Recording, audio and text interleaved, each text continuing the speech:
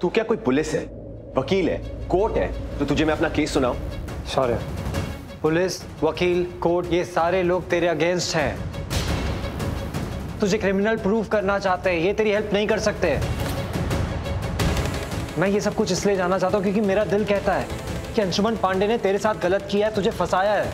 धोखा किया है तेरे साथ। और अगर तू मुझे सब कुछ बता देगा तो मैं धोखे से धोखे को काट सकता हूँ। अगर मुझे कुछ भी लूप होल मिलेगा तो उसके ज़रिए मैं अंशुमन पांडे तक पहुँच सकता हूँ। और तुझे जेल से बाहर निकलवा सकता हूँ।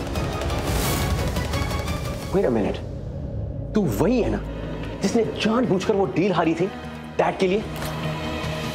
इट्स ओके okay, इतना स्ट्रेस नहीं लेना चाहिए. बिज़नेस है. कभी जीत कभी हार. ये तो लगा रहता है। और ज़रूरी तो नहीं ना कि हर बार जीत ही हासिल हो। जिसने जानबूझकर वो बिडिंग हारी थी। For Anshuman for all I know तू उसी का आदमी है। क्यों तुझे मैं अपनी स्टोरी बताऊँ? क्यों मैं तुझसे हेल्प लूँ? क्या पता? तू ये सब कुछ सुनकर मुझे ही फंसा दे। शौर्य, तेरी सोच ही गलत है। और जिसकी सोच ऐसी है ना, वो यही सोच सकता है। मैं तेरी हेल्प करने आया हूँ, तुझे बार बार बोल रहा हूँ मैं ये। राजवीर मेरी हेल्प करने आया है। मैं इस जेल में हूँ, इस सिचुएशन में हूँ तो तेरी वजह से। हॉस्पिटल में गुंडे तुझ पर अटैक करने आए थे जिसकी वजह से मेरे डैड इन्वॉल्व हुए। उन पर भी अटैक हुआ। तब जाकर मैं इन्वॉल्व हुआ। मैंने उन गुंडों का पीछा किया। तब जाकर मैं अंशुमन पांडे के घर पहुँचा और वहाँ से अंशुमन ने गेम्स खेली और मुझे यहाँ तक पहुँचा दिया। पता है रीजन कौन है राजवीर? तू। तेरी वजह से मैं यहाँ पर हूँ। जिसने फंसाया है वही बचाने आया है। वाह अमेजिंग शौर्य। शौर्य। कभी तो भाई की तरह बात कर लिया कर।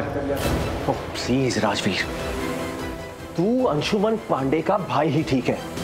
मेरा भाई तो तू कभी हो ही नहीं सकता। क्या कह रहा था तू अभी? मेरे अंदर वो गुस्सा हेट एंगर रिवेंज जिसकी वजह से शायद मैंने वो क्राइम कर दिया।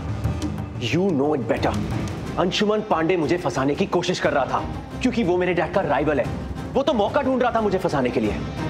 पर राजवीर, तेरी वजह से मैं यहाँ हूँ। You are the real reason कि मैं इस जेल में आया, कि मैं वहाँ गया और फंस कर यहाँ पर आया। चल एक काम कर, तू मुझे बता और सच सच बताना डिटेल में बताना कि आखिर अंशुमन पांडे ने तुझ पर क्यों अटैक किया? तू तो उसका ही आदमी था ना? मुझे नहीं समझ आ रहा कि आखिर अंशुमन ने तुझ पर अटैक क्यों किया। मैंने ये सब कुछ किया क्योंकि मैं अपने डैड से प्यार करता हूँ। मैं उनकी नज़र में अपने आप के लिए प्यार देखना चाहता हूँ रिस्पेक्ट देखना चाहता हूँ।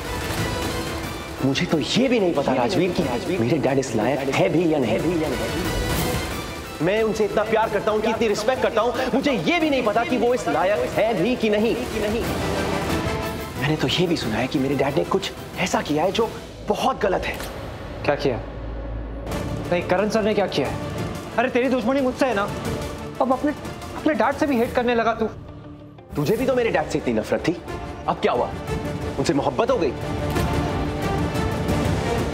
एक सेकेंड एक सेकेंड मोहब्बत से याद आया। आखिर मेरे डैड और तेरी मासी का क्या चक्कर है हाँ? आखिर ऐसा क्या है जो तेरी मासी और मेरे डैड के बीच में कोई सीक्रेट अफेयर कोई एक्स्ट्रा मैरिटल अफेयर कोई प्यार, कोई आशा प्लीज़